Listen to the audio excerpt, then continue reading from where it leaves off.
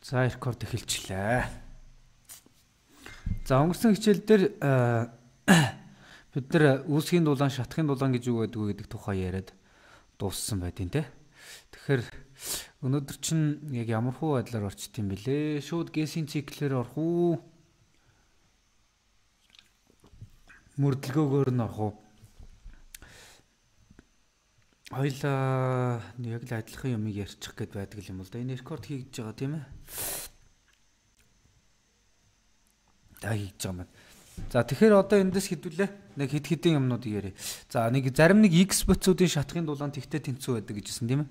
Тэгээ ямар боцуудын шатхын дулаан тэгтээ тэнцүү байдаг гэдэг асуултыг мэдээд иргэсэн. За юу гэж олж мэдцгээв та нар? Мм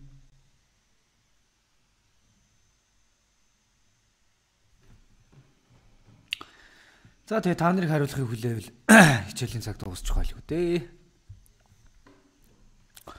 За шатах уруул гэдэг чинь бол хүчил төрөгчтэй уруулд орохыг хэлж байгаа шүү дээ тийм.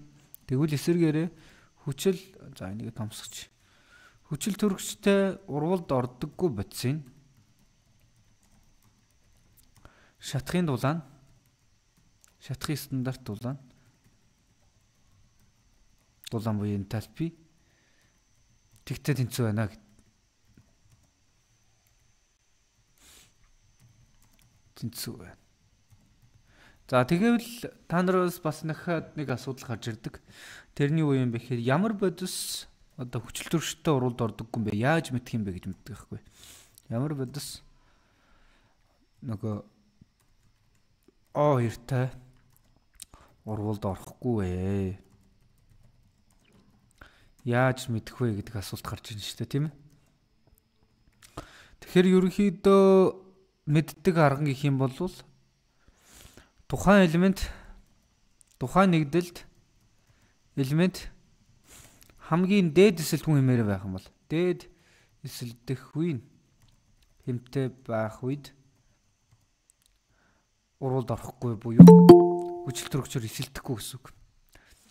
Хүчил төрөгчтэй эсэлдэн гэдэг чинь электроноо алдан гэсэн шүү дээ. Гэтэл тултлал электроныгоо алдчихсан нөхөр дахиж электроныгоо алдаж чадахгүй буюу эсэлдэх уралд орохгүй гэсэн үг. Тэгэхээр тултлал электроноо алдчихсан элемент чинь хамгийн дээд эсэлтгүн хэмтэйгээ байдаг тийм ээ. За энийг хэдүүлээ нөгөө эсэлтэн гэж гурвал ордог дээр хамгийн дээд эсэлтгүн хэм, доод эсэлтгүн хэм гэдэг зүйлийн тухай ирсэн тийм ээ. За жишээлх юм бол бид нар төмрийн хувьд авч үзье. Тэг цэнэгтэй төмөр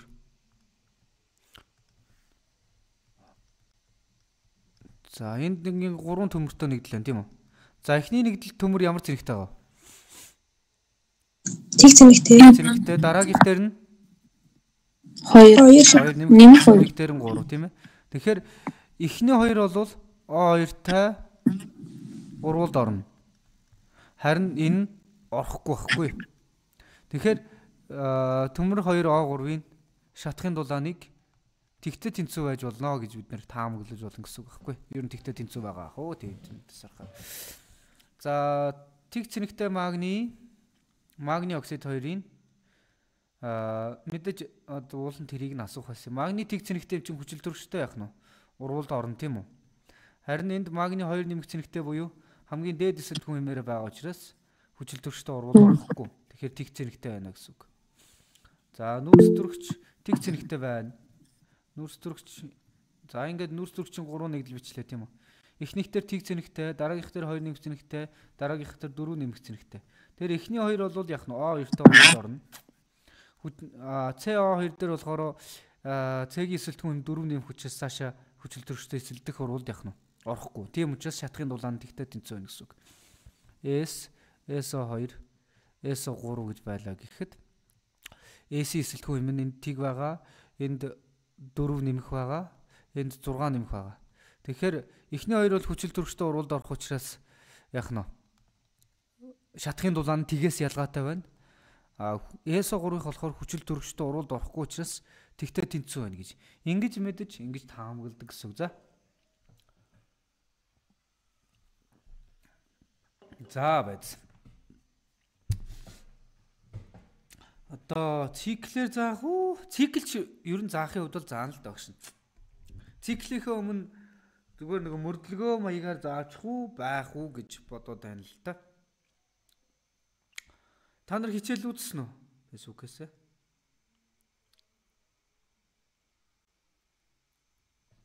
Гэт асуулт асуухаар л ингээл бүгд дугаалчдаг хэцүү шүү та нараас л.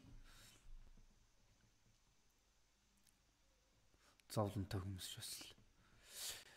За тэгвэл нөгөө нэг жоохон хуучин юугаар арга барилаар гэх юм уу нэг заач та. За мөрдлөгөө нэг.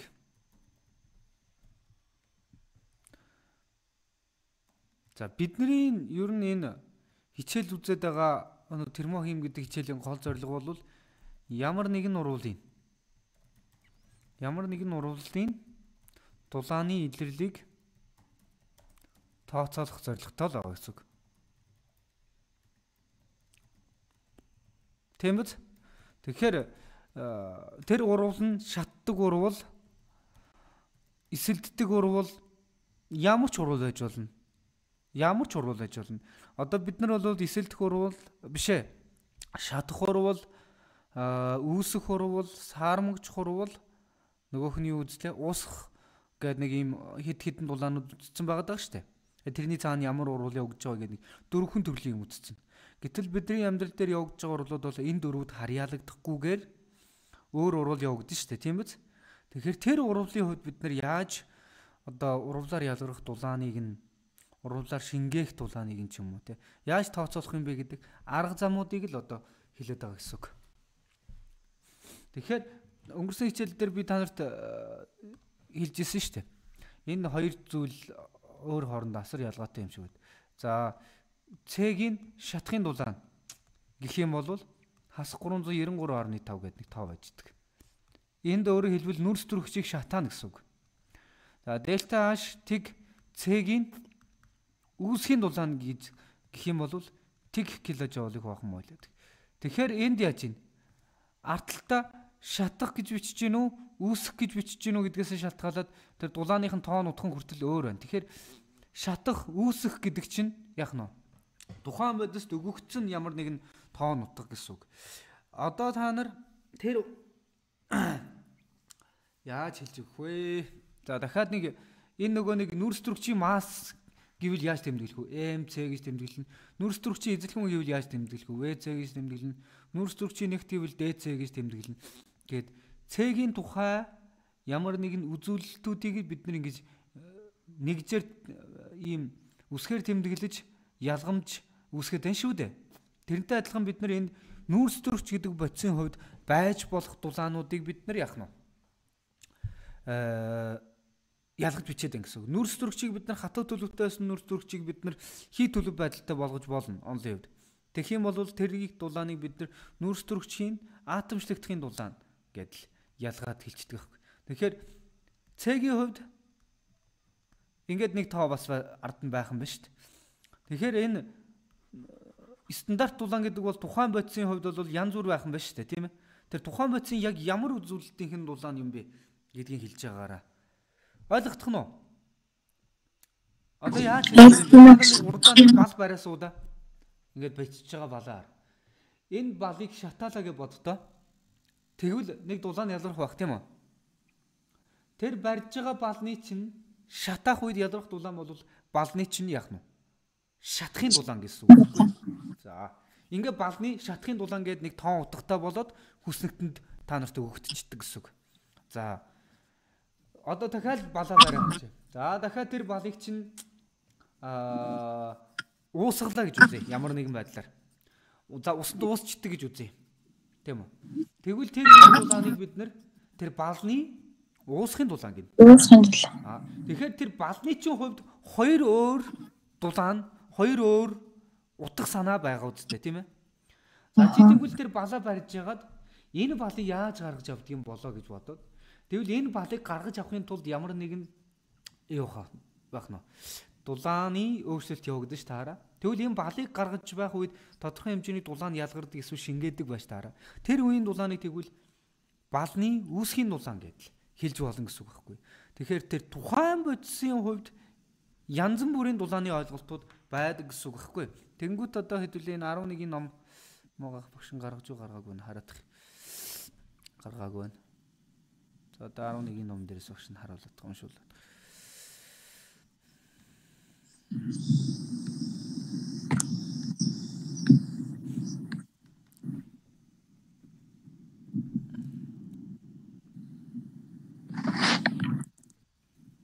Тэгэхээр бодис болгоны тэр одоо шатхын дулаан, үүсгийн дулааныг хүсдэгтэнд олоод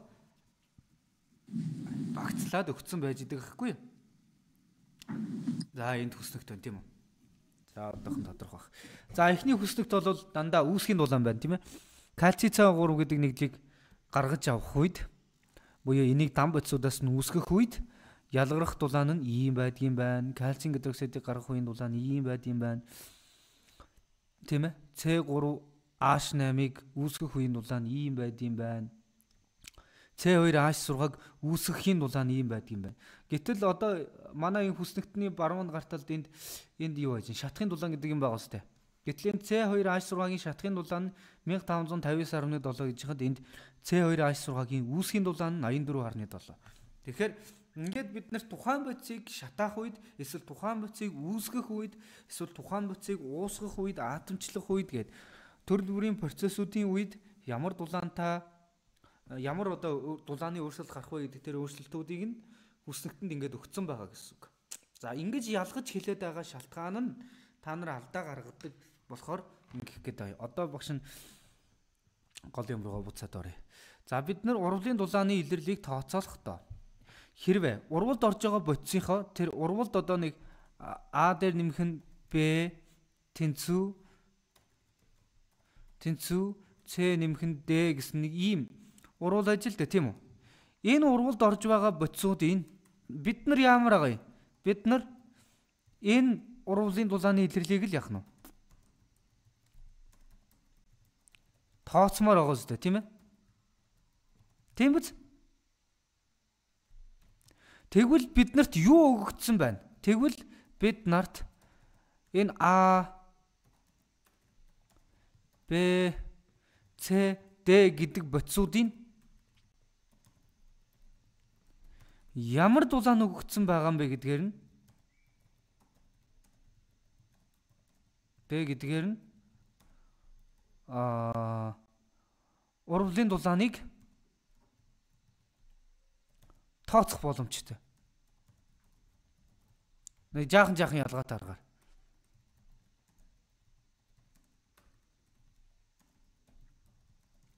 За Уулан бол гэсийн цэглэр заачвал ингэж мөрдлгөө ярих шаардлагагүй байд юм л та. Гэхдээ яалчгүй нэг хідэн бодлого модлого ботход хэрэг болох байх гэд аль алингийн л хэлээд өгчээ. За өнөөдөртөө энүүгээр яриад дуусчээ. За бид нар ерөөсөө энэ А дээр нэмхэн Б тэгээд С дээр гэсэн урвалын дулааны илэрлийг буюу дельта H тэг урвал гэсэн энийг тооцоолж болох гэдэг байгаа байхгүй. Энийний чинь цаана одоо энэ энэ урвалын дулааны илэрлийг л бид нар бодож болох гэдэг байгаа. Тэгвэл хэрвээ надад А Б С Д бодисуудын С Д бодисуудын үүсгийн дулаан өгөгдчихсэн байх юм бол би урлагийн дулааныг ингэж тооцно. Аа дельта H А Б С Д гэдэг бодисуудын шатхын дулаан өгөгдсөн байвал ингэж тооцно. Эцсийн үр дүнд аль аль нь нөгөө л нэг урвалынхаа дулааны илэрлийг л олох гээд байгаа. Тэгэхээр надад өгөгдсөн дулаан нь ямар дулаан байна гэдгээс нь олох арга нь жоохон жоохон ялгаатай гэсэн үг. Одоо би яах ч юм бэхээр энэ уулын бэл дээрээс уулын орой дээр гарах гэж байгаа байхгүй. Тэнгүүд надад морь өгөгдсөн байна уу, машин өгсөн байна уу гэдгээсээ миний нөгөө очих арга зам нь чүт чүт ялгаатай гэсэн үг.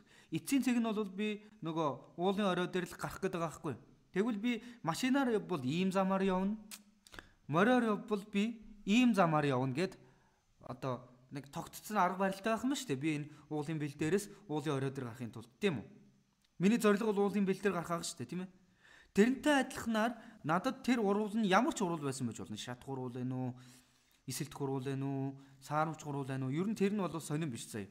Ерөөсөө зүгээр л надад тэр урвалд орж байгаа боцоодынх нь ямар учиртай тоон утгууд өгөгдсөн байгаа юм бэ гэдг нь л сонь.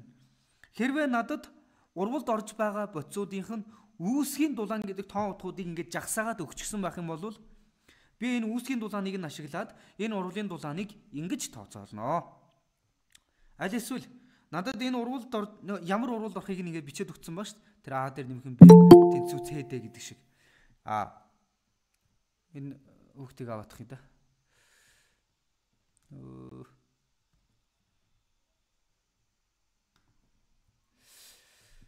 Юу ярьж илаа да?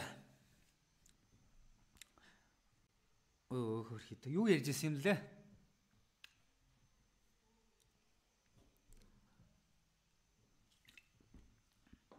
Аа би тэр тухайн урвалын дулааны илэрлийг тооцмоор байгаа. Надад тэр урвалд орж байгаа бодисуудынх нь ямар учиртай дулаан өгөгдсөн байгаа юм бэ гэдгээр нь тооц гарга замууд нь жоохон жоохон ялгаатай гэдэг нь шүү дээ. За надаа А дээр нэмхэн Б тэнцүү С Т гэдэг урвал өгөгдчихсэн байна. Энэ нь ямар ч урвал байж болно. Ойлгож байгааз? Тэгвэл надад А Б С Д гэдэг бодисыг шатхын дулаан өгөгдчихсэн байвал би ийм аргаар урвалын дулааныг бодож олно. Эсвэл надад Д гэдэг бодисуудынх нь үүсгийн дулаан гэдэг тоон утгууд өгөгдчихсэн байх юм бол би ийм аргаар бодож олно. Энэ хоёр тоон утгуудыг аль алингээр нь бодож болоход бид нар ялгаа байхгүй урвалын дулааны илэрлийг бодож олж байгаа.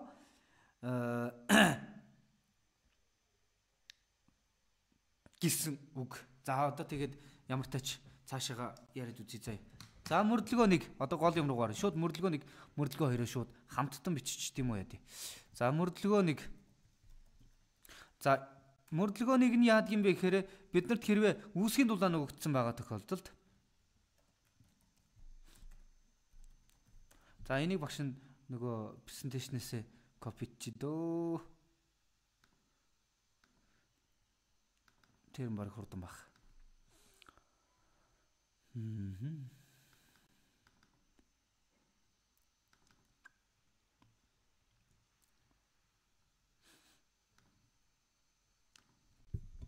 За энд яасан бэ? Үүс нэг нэгийг уншсаа та нар үүсгийн стандарт энтальпийн өөрчлөлтөөс тийм ээ урвалын энтальпийн өөрчлөлтийг тооцоолох гэж юм тийм ээ. Яа хараа урвалын энтальпийн өөрчлөлтийг тооцоолох гэдэг нь нэг өөрийн гэсэн утга санаатай. Энэ үүсгийн стандарт энтальпийн өөрчлөлт гэдэг нь болохоор бас нэг өөр утга санаа хэлээд байгаа шүү дээ. За олохдоо яаж болд юм бэ гэхээр урвалын стандарт энтальпийн өөрчлөлтөн гэдэг одоо энэ тодруулж байгаа чи юу хэлж байгаа юм бэ гэхээр энэ нөгөө нэг дурын өгөгдсөн урвалын нөгөө нэг дельта H урвал гэдэг ийм юмыг л олгож байгаа гэсэн. Энэ нь юутай тэнцэх юм бэ гэхээр бүтээгдэхүүн бодисын үүсгийн стандарт энтальпийн нийлбэрээс их бодисын үүсгийн стандарт энтальпийн нийлбэрийг хасаж олдог гэсэн ийм дүрэн байгаа юм байна. За тэнгуут энийг томьёолох юм бол энэ хэсэг нь болохоор бүтээгдэхүүн бодисын үүсгийн дулааны нийлбэр. За энэ n-ээр үржүүлж өгж байгаа нь молийн тоогоор нь үржүүлж өгж байгаа гэсэн үг. За энд болохоор хасах нь Их бодисыг үүсгэн дулааны нийлбэр.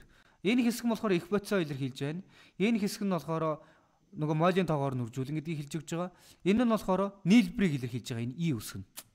За энэ C2 H2 за энэ ацетилиныг шатах энэ урвалын хувьд бид нар урвалын дулааны илэрлийг олъё гэж үзье. Бид нар энэ урвал явагдахад ямар дулаан ялгарх вэ гэдгийг бодож олох гэж байгаа гэсэн үг. А мэдээж эндээс бид нар шууд төсөөлөх юм бол энэ бол нөгөө ацетилин шатсан урвал учраас Энэ урлагийн дулааны илэрлэл нь ацетлины шатхын дулааныг та тэнцүү байна гэж шууд таамаглаж болно. Тийм үз? Гэхдээ заавал тэгж таамаглахгүйгээр зүгээр өөр аргаар бодож болно гэсэн утга санааг харуулах юм уу да?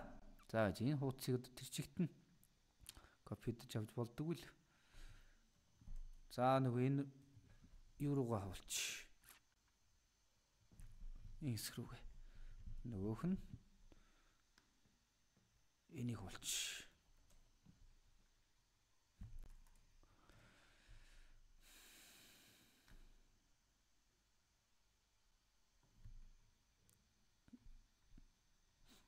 За. Тэгэхээр одоо ингээд энийг уншъя да. За бид нар энэ урлагийн дулааны илэрлийг олохдоо бүтээгдэхүүн бодисын үүсгийн энтальпигаас их бодисын энтальпиг хасан гэдэг дүрм нь энд ингээ хэлсэн байна. Тэгэхээр би одоо бүтээгдэхүүн бодис гэхээр энэ шараар тодруулж байгаа энэ хоёр байна. Их бодис гэхээр энэ ногооноор тодруулж байгаа гэсэн үг. За тэгвэл бүтээгдэхүүн бодисын нийлбэрийг олъё гэвэл бүтээгдэхүүн C2-аа учраас CO2-ын үүсгийн дулааныг ингэж илэрхийлж байгаа. Тэгээд энэ дөрөөр хөвжүүлээд өгж байгаа. Урлын нийслэлийн өмнөх коэффициент нь. За нэмэх нь энд болохоор усны үүсгийн дулааныг илэрхийлсэн байна. Тэгээ энийг хоёроор үржүүлээд өгч байгаа. Ингээд хаалтанд хийцснээр бид нар бүтээгдэхүүн бодис үүсгийн дулааны нийлбэрийг олчиж байгаа гэсэн үг. Хасх нь одоо ногооноор тодруулна тийм ээ. Бодис үүсгийн дулаан гэхээр энэ C2H2-ийн үүсгийн дулаан нэг хоёроор үржүүлж өгч байна. Хүчил төрөгчийн үүсгийн дулааныг нь таваар үржүүлж байна. Урлагийн тэгстэлийн өмнөх коэффициент нь тийм үү. За эндээс бид нар хүчил төрөгчийн үүсгийн дулааныг тэгтээ тэнцүү гэдгийг мэднэ тийм үү.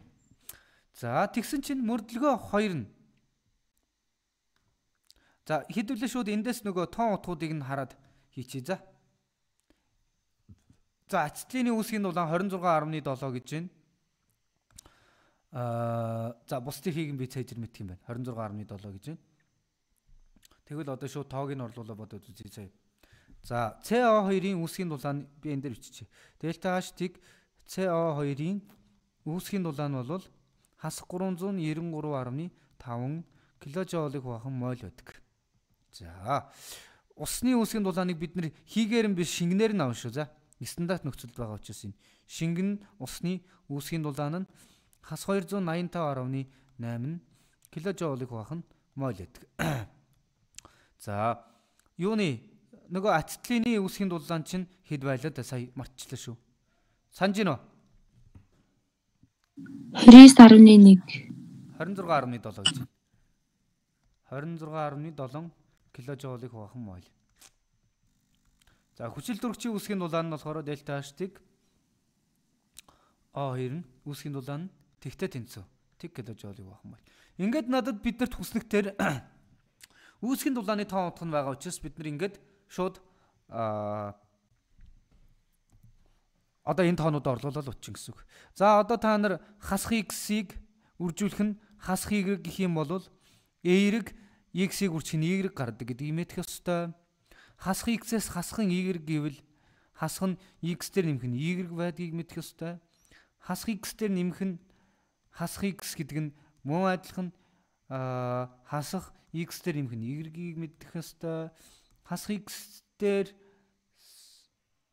хасхан хасах y гэх юм бол x дээр нэмэх нь y гэдгийг мэдэх ёстой. За дээрэс нь 100-аас хасах нь А дээр нэмэх нь Б гэдэг нэг өөр. 100-аас хасах нь А нэмэх нь Б гэдэг бол хоёулаа шал өөр. Харин энэний хаалтыг задлавал 100-аас хасах нь А хасах нь Б гэж ингэж бичдэг. Доотлох бол шал өөр юм тийм үү. За тэгэхээр иймэрхүү математик юмнуудаа та нар жоохон алдаад байдаг. Тэгээ энээс болж хариунуудаа жоохон буруу гаргаад буруу бодоод байх талтай. Тэгэхээр энийг бол багш нь одоо яамар ч юм те. За ямар ч тач тоогоо орлуулъя тийм үү.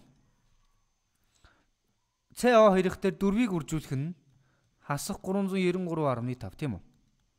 За. Тэгэл та нар нөгөө нэг чаавас нөгөө нэг ядаргатай iPhone-ийнхаа тооны машинаар л бодно шүү дээ тийм ээ. Хоёрыг үржих нь хасах 285.8 гэд. Ингээ хаалтаалаа. Дахиад ингээ том хаалт нээж байгаа маань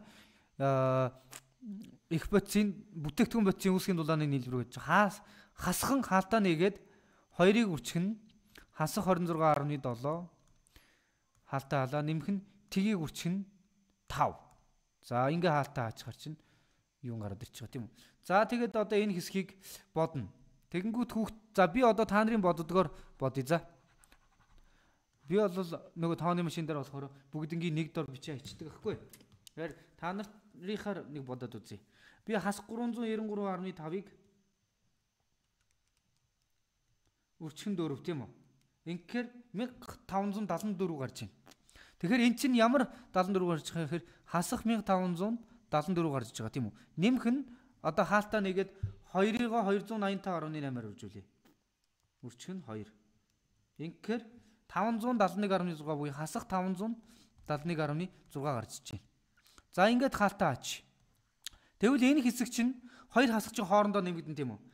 Одоо энэ дээр 1574-ийг нэмчээд инхээр чинь хасах 2145.6 олж байгаа хгүй энэ хэсэг нь. Хасхан нөгөө хоёрыгоо 26.7-оор үржээ. 53.4 гэж байна. Хасах 53.4. За энэ хэсэг чинь хасах 2145.6 дээр нэмэх нь 53.4 гэсэн үг. Тэгэхээр би болохоор тооны машин дээр бол яаж бол яаж бичнэ л дээ. Хасах 2000 92.2 киложоул гарч иж байна. 2. За ингээд л ботчин гэсэн үг. Тэгэр ингээд нэм хасах дээр та нар ер нь их алддаг. Нэг удаа ингээд бодоод үзүүлчих. За ингээд бодохоор эн чинь болвол бидний нөгөө урлагийнхаа арталт бичдэг 2092.2. Гэхдээ энэ дээр хасахтаа бичин тийм үү? Киложоул гэж бичин тийм үү? Эн чинь өөрөө 2 моль ацетилын шатах үеийн дулаан шүү. 2 моль ацетилын шатах үед 2092.2 киложоул дулаан ялгардаг болвол 1 мол ацетлын шатах үеийн дулаан нь хэд вэ гэвэл одоо энийг 2 тууч гэсэн. Хувахан 2. Тэнцүү 1046.1 гинэ. За тэгээ бодоод үзье.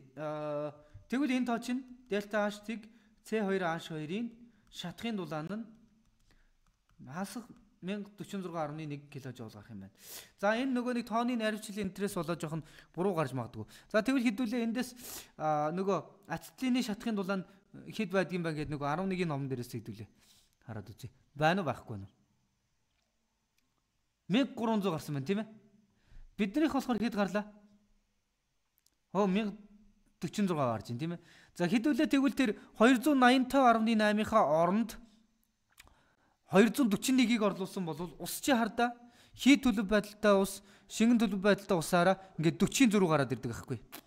Тэгээд 40 зөрүү гэдэг чинь 3-аар үржүүлэхээр 120-ын зөрүү гараад ирж байгаа ойролцоогоор. За тэгэхээр энэ тоон дээр за ерөнхийдөө энэ ингээд уулан бол зөв тоо гарах ёстой. Магадгүй энэ 26.7 гэдэг тоон маань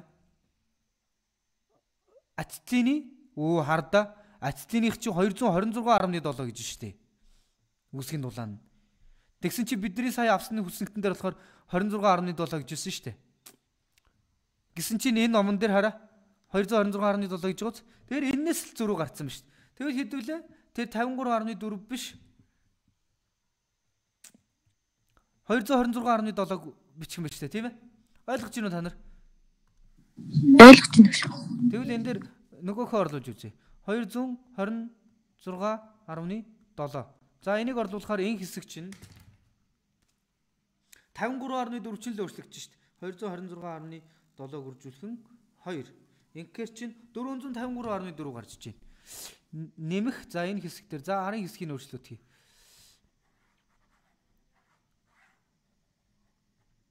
Нэмэх тоотой байд юм байна дээрээс нь тийм ээ. Хасах нь Өө миний саяны тоо алдчихлаа. 226.7 гүрчэн 2. 453.4 гэж байна. За тэгэнгүүтээ одоо 453.4 дээрээ 2145.6-ыг нэмнэ шүү дээ.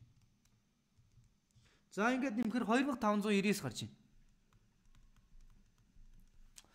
За мэдээж хасах 2599 тийм үү? Тэгвэл энэ дээр бид нар 2599-ийг бичих юм бол ёстой бараг л нөгөө 1300 гарч ирэх юм биш үү тийм ээ? Энийг хувахан 2.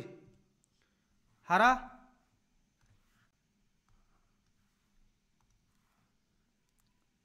Хасах 1299.5 гарч иж байгаа хгүй. Энэ тоо чинь. Хасах 1299.5. Нөгөө сая бид нар хүслэгтнээс 1300 гэж харсан да. Энэ энэ гараад ирж байгаа үстэй.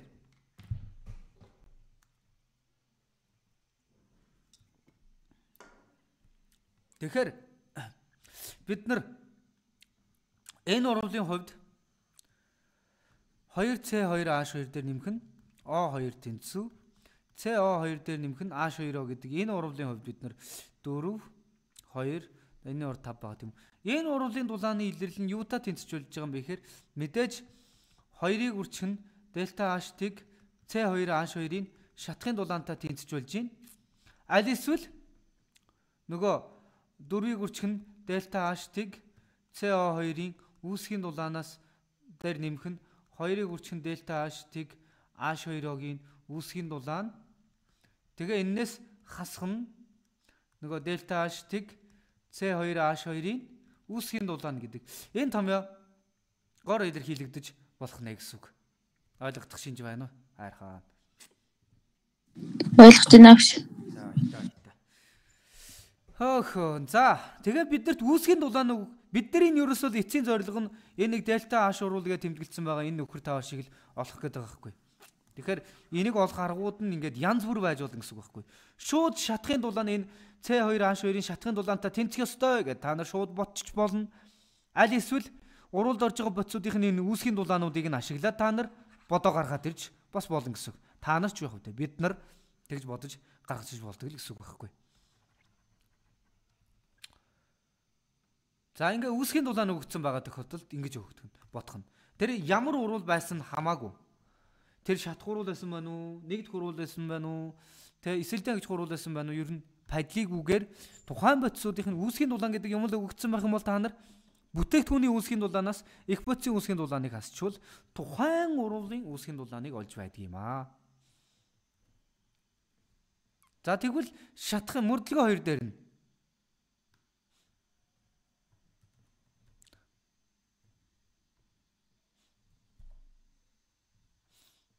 За мөрдлөгөө хоёр нь яа мөрдлөгөө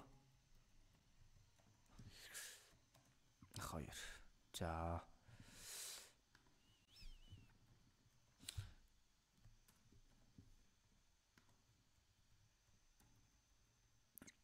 За ямар мөрдлөгөөтэй байдгийм бэ гэхээр одоо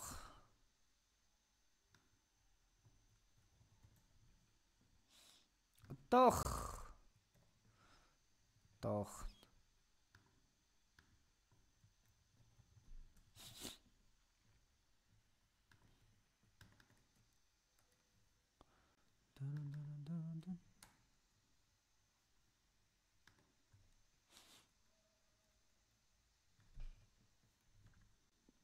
Яг адилхан урвал үчсэн уу зогшин.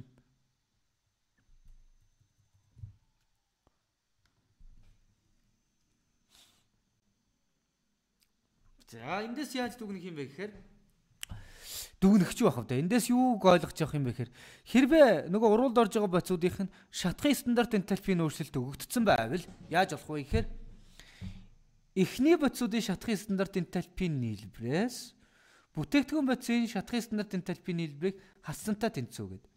За энэ хэсэг бол их боцын шатхын дулааныг илэрхийлсэн байна. Энээр хөгжүүлж байгаа молин тоо. Энэ сум маань болохоор нийлбэрийг илэрхийлж байгаа.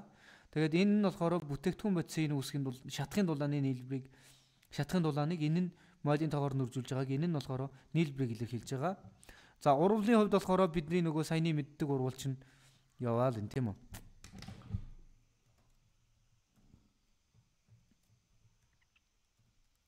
Аа.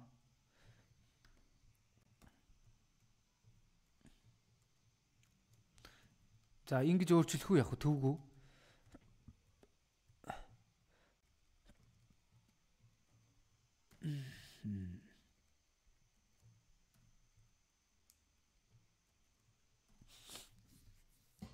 За.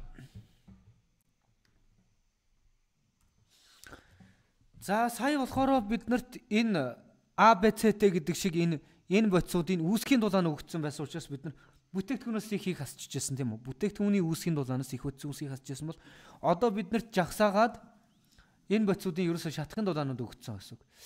C2H2-ийн шатхын дулаан өгөгдсөн байна. Тэр нь хасах 1300 гэж янлаа. За дельта H-ийг O2-ийн шатхын дулаан өгөгдсөн байлаа. Тэр нь тэг гэж байна лээ. Дельта H-ийг CO2-ийн шатхын дулаан өгөгдсөн байлаа. Тэр нь хэд вэ? Та нар мэдэх ёстой. Дельта H-ийг усны шатхын дулаан бас өгөгдсөн байгаа гэж үзнэ. Тэр хэд вэ? Тэг. Тэг байна тийм үү? Гуруула тэг байна. За томьёогоо харъя. Томьёогоо харахаар их боц гэхээр энэ шараа тодруулж байгаа хэсгийг харъя. За тэгвэл эхний хаалт бол энэ хэсэг нь бол C2H2-ийн шатхын дулааныг илэрхийлээд хоёроор үржүүлж байгаа нь мойлын тоогоор нь урлын дэвшлийн өмнөх коэффициент.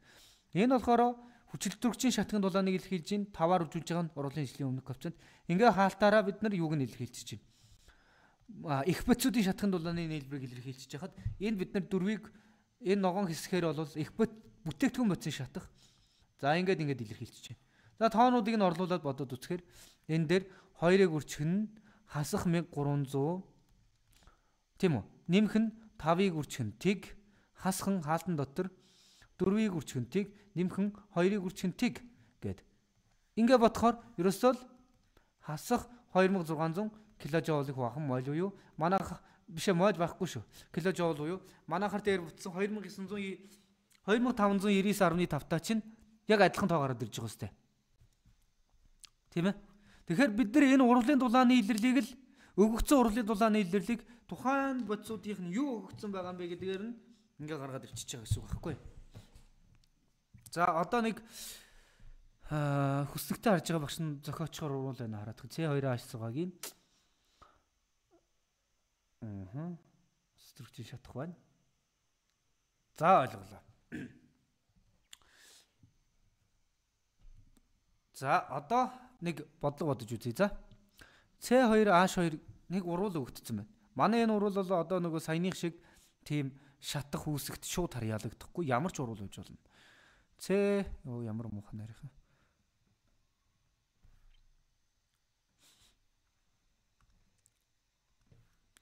C2 H2 дээр нэмэх нь 2H2 тэнцүү C2 H6 гэсэн уруул ажээ. Тэгээ бид нар ерөөсөө зорилго нь бол энэ э, урвуулын дулааны илэрлийг хэд юм бэ гэж л бодож олох туйлын зорилготой тийм биз? За тэгвэл би энэ урвуулын дулааны илэрлийг хоёр аргаар бодож олох боломжтой гэсэн үг. За нэгдүгürt надад дельта h-ыг C2H2-ийн үүсгийн дулаан дельта H-ыг H2-ийн үүсгийн дулаан дельта H-ыг C2H6-гийн үүсгийн дулаан гэсэн тоон утгууд нь өгөгдсөн байгаа гэж бодох юм бол бид нар яаж бодож болох вэ гэдээ харъя. За хүснэгтээс харъя. C2H2-ийн үүсгийн дулаан 226.7 гэж байна тийм үү? За 226.7 кJ-ыг хувахан мол гэж байна. За ус төрөгчийн үүсгийн дулаан хэд вэ? Та нар мэдэх ёстой доо. Дам болчихроос Тик. Тэг киложоулыг хувахан мол. C2H6-гийн үүсгийн дулааныг одоо эндээс харъя. Хасах 84.7 гэж байна. Дахиад шалгачнаа. C2H6 стандарт enthalpy of formation гээ гараад ирж байгаа шүүд. Оо 84.7-ыг шууд гараад ирж байгааз. За 84.7 гэд бид нэр шууд ашиглаж болох нэ. Хасах байлуу? Хасах шүү дээ. Хасах 84.7 кJ-ыг баах юм байна. За тэгвэл бид нар үүсгийн дулаан өгсөн байгаа учраас бид нар энэ урлын дулааны илэрлийг яаж бодж болох вэ гэвэл бүтээгдэхүүн бодисын үүсгийн дулаанаас их бодисын үүсгийн дулааныг хасаж болно мөрдлөгөө нэгээр. Тэгвэл дельта H-ыг C2H6-гийн үүсгийн дулаанаас за энэ ингээд бүтээгдэхүүн мөцийн үүсгийн дулаан болчих учраас хасах нь хаалтан дотор дельта H-ыг C2H2-ийн үүсгийн дулаан нэмэх нь 2-ыг үржих нь дельта H-ыг H2-ийн үүсгийн дулаан гэж ингэж илэрхийлж байна. За одоо энэ дээр тоонуудаа орлуулад бодоод үзье. C2H6-гийн үүсгийн дулаан нь хасах 84.7 гэж байна. киложоулыг хуваах юм бол за урталтаа 1 2-ын коэффициент учраас тэд нар бол асуудал биш тийм ээ. Хасах нь C2H2-ийн үүсгийн дулаан нь 226.7 киложоулыг хуваах юм бол нэмэх нь 2-ыг үрчхэн тэг. За ингээд энэ тоог бодож болвол ерөөсөө л 84.7 дээр хэдийг нэмэх вэ? 226.7-ыг нэмчихэд урталт нь хасах тэмдэг тавьчвал болчих юм тийм үү? Хасах 311.4 кJ-ыг бахан моль гэж бичиж болно. Яа тэгэхээр 1 моль бодис үсэж байгаа учраас дельта H-ийг урвал тэнцв. За тэгвэл энэ 311.4-ийг бид нар заавал шууд мухар тэнцэх халуугүй шүү. Ойролцоодоо тоогоор гарч иж болдог. Яг 5 10% зөрүүтэй байж магадгүй. За тэгвэл энэ урлын дулааны илэрлийг бид нар юугаар олоодох юм? Хэрвээ энэ бодисуудын шатхын дулаан өгөгдсөн байлаа гэж үзье. Дельта H-ийг C2H2-ийн шатхын дулаан. За одоо ус төрөгчийнхээ юугаар авд юм блэ? Юугаар л авдаг бах та. За C2H2-ийн шатхын дулааныг олъё. Нөгөө 1300 шүү дээ, тийм ээ? Хасах 1300 хасах 1300 киложоулыг багаммаа л. За ус төрөгчийн шатахын дулааныг дельта H-ийг H2-ын шатахын дулааныг бид нар энд өгөгдсөн байна. Хас 241.8 гэж үз. За бид нар болгоомжтой байж хас 241.8 гэдэг нь хий байдалтай ус үсэх үеийн дулаан ахгүй. Магадгүй бид нар шингэн усыг нь л баг ашиглах байхаа да. Хэрвээ шингэн усыг ашиглахаар ойл 285.8 билүү 58.5 билүү. Энэ доор байгаа шүү дээ. 285.8 байна тий. Киложоулыг бахан мол гээд. Энэ хоёр тооны аль нэгийг хэрэглэх юм байна. Дельта H-ийг C2H6-гийн шатхын дулаан. За энэ маань олддог байгаа да. Оо байна. Хасах 1559.7. Хасах 1559.7 кJ. Ингээ бид нар шал өөр тоонууд ашиглаж байгааг харж байна уу? Өмнөхөөсөө тэгэнгүүт бид нар энийгээр бодоход нөгөө тоо чинь гарч ирэх. Энэ 311.4-т чинь ойролцоол гарч ирэх хэвээр. Хэдүүлээ шалгаадах юм. C2H6 стандарт enthalpy of combustion. Combustion гэхээр шатах гэсэн үг байхгүй. За энэ гараад ирж штт. Аа 1559.8 гэ гараад ирж байгаа зэн хараа. Энэ хоёр дахь бодисх нь ахгүй. Энэ нэг. За зүв байна. Зүв байна ч вэ? Үнэн бололтой. Хэдүүлээ аваа хэрэглэхэд ямар ч айдасгүй гэсэн. За бид нар урлын дулааны илэрлийг бодож олох нь их бодисын шатхын дулааны нийлбэрээс бүтээгдэхүүн бодисын шатхын дулааны нийлбэрийг хасна. Дельта H-ийг C2H2-ийн шатхын дулаан дээр нэмэх нь 2-ыг үржих нь дельта H-ийг ус төрөгчийн шатхын дулаан мөн үү? Ингээ хаалт хийлээ. Хасах нь дельта H-ийг C2H6-гийн шатхын дулаан гэдэг ингээ бичиж байгаа тийм ээ. За одоо энэ дээр тоонуудаа орлуулъя. Тэнцүү хасах 1300 дээр нэмэх нь аа за багш нь юуг нь авлаа. Тэр шингэнийг нь авлаа шүү заяа. Хасах 285.8 ингээд дахиад хаалт хийгээд болчих чинь тийм. Хасах нь C2 H6-гийн чинь хасах 1559.7. За энийг бодъё. Тэгэхээр бид нар эхлээд юуг бодох хэрэгтэй хнө. Тэр 285.8-ыг 2-оор үржүүлэхээ эхлэх хийх юм байна тийм үү. За тэгэхээр хасах 1300-аас хасах нь 5000 бишээ 571.6. За энэ чинь хас хасхын нэмэх 1559.7 болчих юм байна тийм үү. За тэгэхээр бид нар энэ дээр 1300-г нэмчихэд 1800 энэ хэсэг нь болохоор хасах 1871.6 гарч иж байна. Энэ нь болохоор нэмэх нь 1559.7 болж байна. За 1871.6-аас хасах нь 1559.7. Пүү ямар гоё гарч иж байна. 3 хасах 311 гарч иж шít. Хардаа одоо нөгөө миний хэлэх гээд байсан юм одоо уул нь бүр илүү та нарт харагдах ёстой. Бид нар урвалын дулааны илэрлийг л тооцоолох гээд байгаа. Надад урвалд орж байгаа бодисуудын ямар тоон утгууд өгөгдсөн байна гэдгээс нь бодож байгаа арга замууд нь чүт чүт чүт өөр байна. Бид нар яг тэр дээр байгаа өгөгдсөн урвалын дулааныг олохдоо эхлээд их бодисуудын үүсгийн дулаан өгөгдсөн бишээ. Тэр урвалд орж байгаа бодисуудынх нь үүсгийн дулаан өгөгдсөн байгаа тохиолдолд бүтээгдэхүүн бодисуудын үүсгийн дулаанаас хасгаар 311.4 гарч ирсэн бол хоёрдугаар тохиолдолд бид нэр тэр урвалд орж байгаа бодисуудынх нь шатхын дулаан өгөгдснөөр нь тооцсон чинь бас яг ингээ ойролцоо тоо гарч иж байна тийм үү. Тэгэхээр эндээс та нар илүү тэр урвал нь шатах байна уу эсэлдэх байна уу гэд нөгөө дахин дахин давтан хилээд байгааг нь ялгааг нь илүү сайн яах нь харж авсан байх тийм ээ. Аха.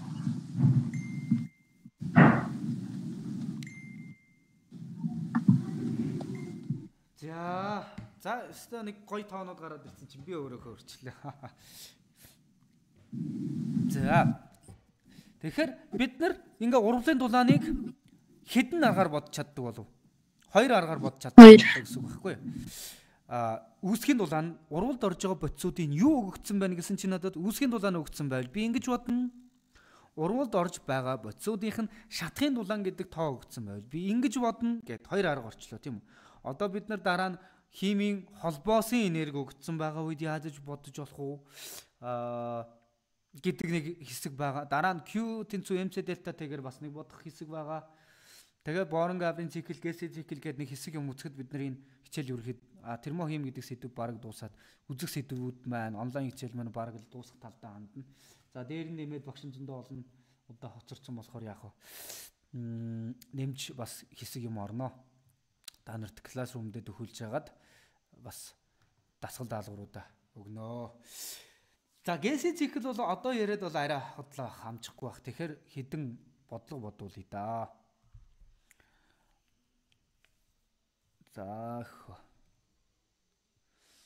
Аа нөгөө нэг Еш 2 Еш 1 Еш 2 гэдэг нэг файл байдаг шээ тийм ээ.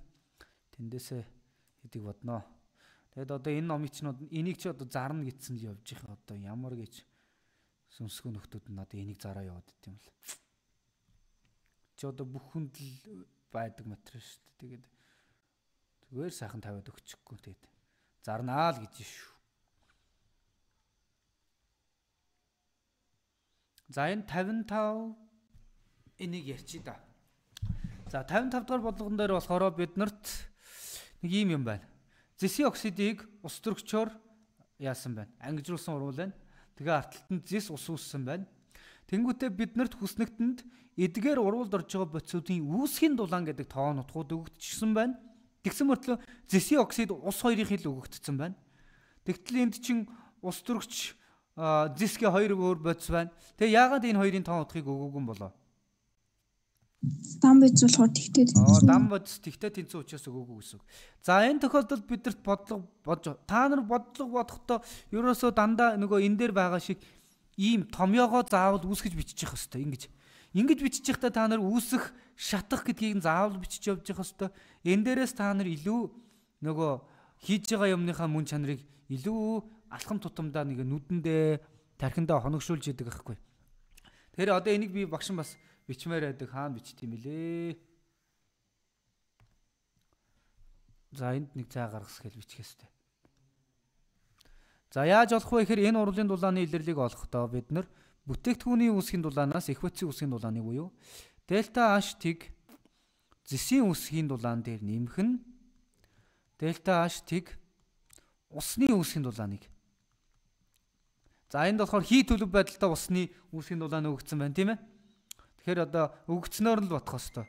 Гэхдээ яэш дээр яана шингэн рүү шилжүүлж бодох ёстой гэсэн бодлого ирчих дээ. Ээ ажи нэмэх нь дельта h-ыг h2-ын үүсгийн дулаан.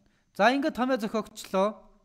Усных нь хас 242 хасах нь хасах 162 гэдэг чинь хас 242 дээр нэмэх нь 162 болно гэсэн үг тийм үү? Би одоо өмнө өмнө энийг хүүхдүүд өөрөө бодог гэд хайчдаг байсан. Тэгсэн чинь одоо хамт бодж өгмөр юм байна лээ одоо. 80 ин кJ гарч иж байна. Хасах 80 гарах юм шүү. Хасах 80. За ингээд си хариулт нь гараад ирэх юм байна тийм үү? За ингээд 56 57 бол яг ингээд бодогдож хахад за одоо мань хэдийн нөгөө боцсон уруул энэ арай C2 H2 H2 дээр нь юу ч ярьдаг юм. C2 H2 дээр нэмэх нь 2 ус төрөгчийг нэмээд C2 H6 үүсгэсэн энэ урвал байна. Энэ урвалд орж байгаа боцуудын үүсгийн дулаан биш шатхын дулаан гэдэг тоон утга өгсөн байгаа учраас бид нар яах вэ? Экспоцийн шатхаас бүтээгдэхүүний шатхыг хасах буюу за би 58-ыг бодож байгаа шүү 59-ийн дор бичигдээд байгаа боловч дельта h-ийг урвал яаж бичих вэ? Надаа нэг томьёолыг хэлдэ.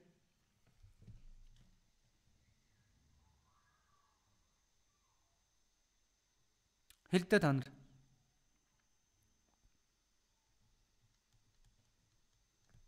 Дельта h-ийг 2H 2H2-ийн ямар дулааны? Шатхын. Шатхын дулаан. Нэмэх нь? Нэмэх нь хоёрыг үржидэг нь дельта H H2 шатах. За ингээд хаалт хааснаар их бодисын шатхын дулааны мэлбрийг болчихж байгаа юм. Хасах нь дельта H C2H6-гийн шатах тийм үү? За одоо орлуулвал хасах 1300 дээр нэмэх нь манай хүүхдүүд алдсан л байлаа. Хоёрыг үрчгэн хасах 300. Яг 300-г орлуулад тик гарч иж байгаа тийм бодолд хариун байсан. Тэгээд хариун дотор нь бас тик хүртэл явж байгаа. хасах 1600. За ингээ энийг ботхоор хасах 300 гарч иж байгаа. Тоймнос утах тийм ээ. Тэгэхээр энэ А хариултыг сонгоно. Хэрвээ энэ хоёрын тоо байхгүй байсан бол тиг гарч иж ин л дээ. Тэгээд тиг хариултыг сонгох хөхт бас байж л магадгүй эвгүй. Тэгэхээр тэр коэффициенттэй мартах бас их эсдэлтэй шүү. За 59 энэ хэд бол иймэрхүү бодлого байсан байна. За 60 61 62-ыг бид нөгөө гэсийн цикл үдцснийхээ дараа циклдэж бодно. Яг хөө энийг бид нэр томьёоцоор хагаад нөгөө мөрдлөгөө нэг мөрдлөгөө хоёрыг хооронд нь хольж утгаж нийлүүлж хагаад ботчих болдгол юм л да. Тэгэхгүйгээр хэдүүлээ гэсийн цикл бод зохиож бодно тэрийг. За одоо энэ 64 дугаар бодлогыг харин яаж хийж байгаа бодох хэрэгтэй байна. Тэгээд л хичээлээ тарья да. А бид нэр өнгөрсөн хичээл дээр болохоор зүгээр термохимийн тэгстэглээс тэдэн грамм бодис орвол тим тим дулаан ялгар нь ингэн тэгэн гэсэн бодлогоодыг бодсон тийм ээ. За энэ 64 дугаар болгоны өгүүлбэрийг та нар уншаагүй байж таарчих гээд байдаг. Багш нь одоо төрүүлж уншсан болохоор одоо яа одоо тэгээд нөгөө даалгаврынхаа зорилгооч ойлгож хамжаагүй байхад тайлбарлаад эхэлчихдэг нэг хэцүү юм байгаад байна. За багшны ямар ч скриншот хийж аваад оруулж ирж байгаа тайлбарлуулаарай айтайхан юм уу да хаан байна.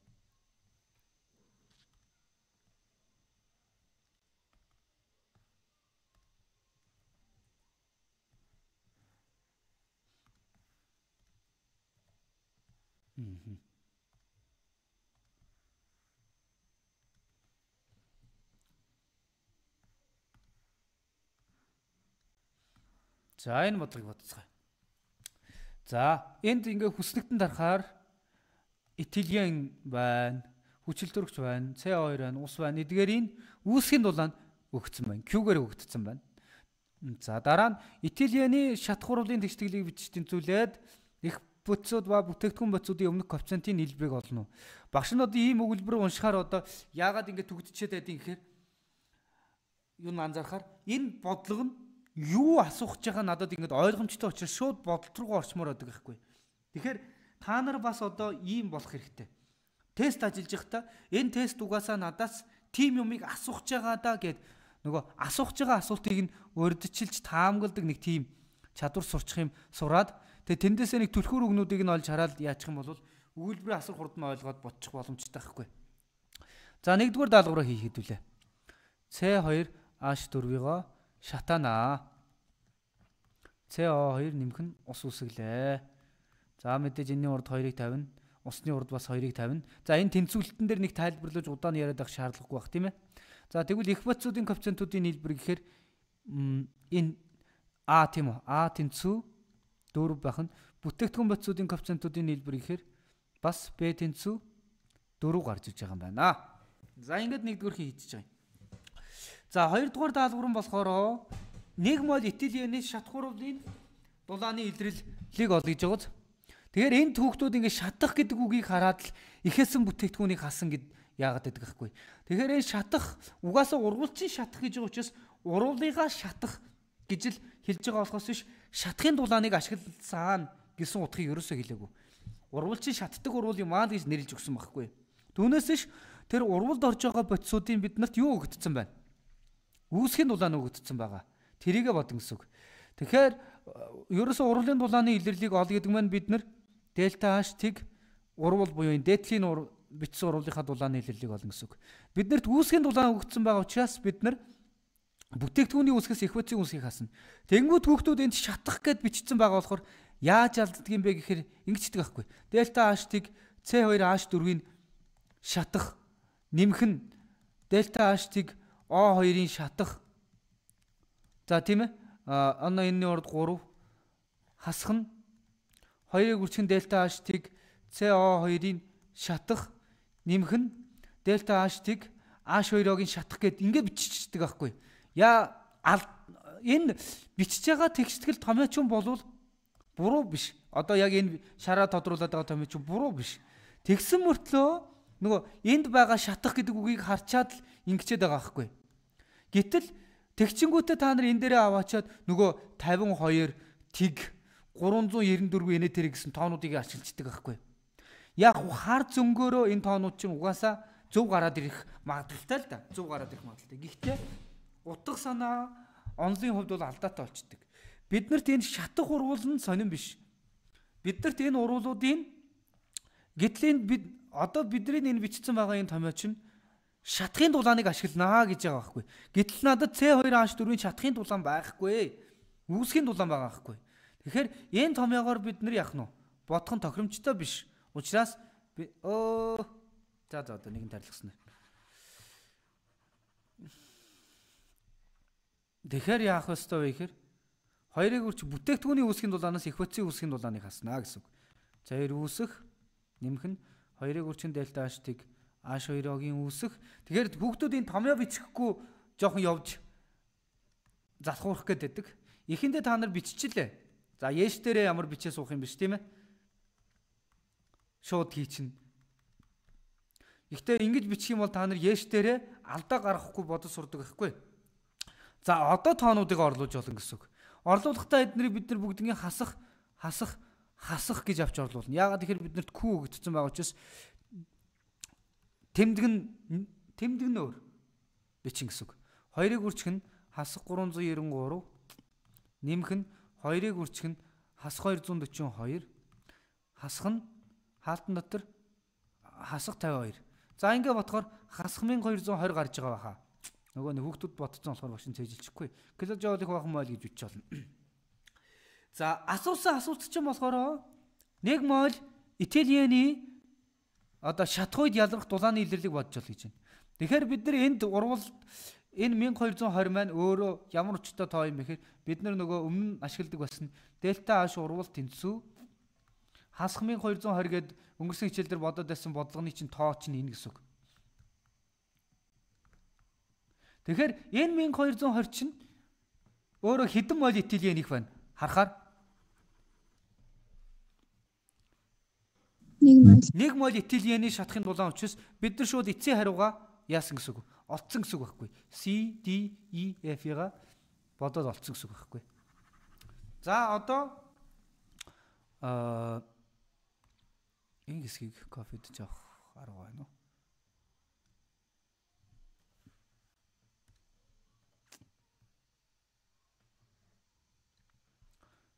За одоо дараагийн асуулт нь болохоор 1120 мл этиленийг гэж юм тийм үү.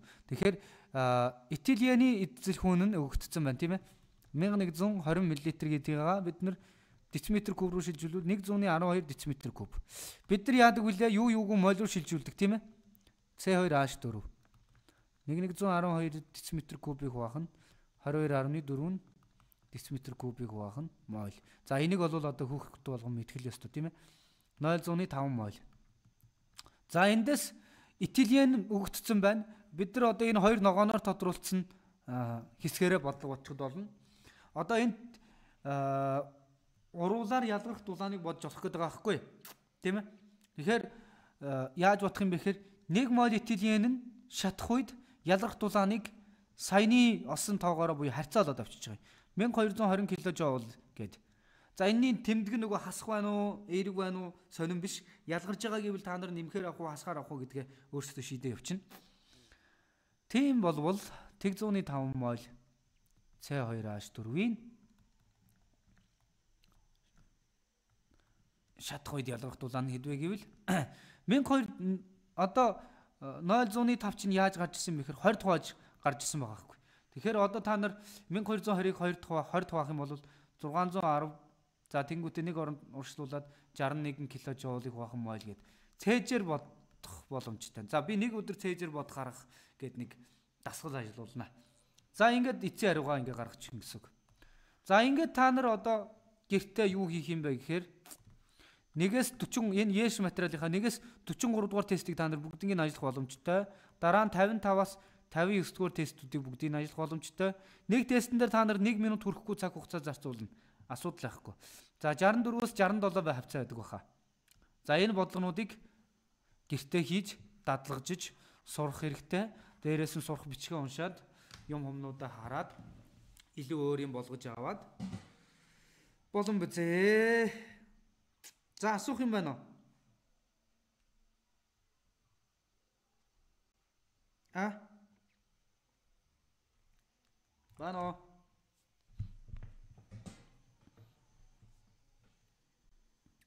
Бано. Таа чи одоо бүгд гараа явчихсан юм яасан?